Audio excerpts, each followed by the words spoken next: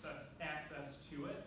Uh, and one of the things that the library uh, really stands for, I guess multiple things, is having that knowledge and information available to people. And a lot of times in people's minds, that kind of stops at books. But with this, we kind of expand that into a greater knowledge, providing that training, helping people access it, right? Like the old index cards, um, providing the space to use and to engage with that information, the tools to be able to better and grow yourself, and also provide some of the motivation to learn and just encouragement from staff here